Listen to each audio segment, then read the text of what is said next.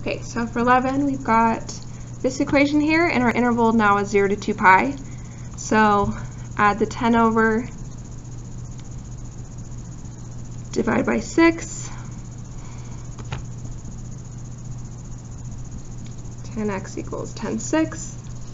And then we're going to do this in our calculator here. So note that we are now in radians. So we're going to put our calculator in radian mode. And we'll do inverse tan of 10 6.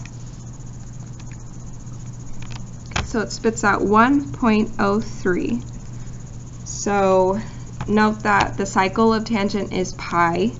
So we will add pi in this case to get 4.17. So we could keep adding pi, but note that if we type in 2 pi into our calculator, that number is 6.283.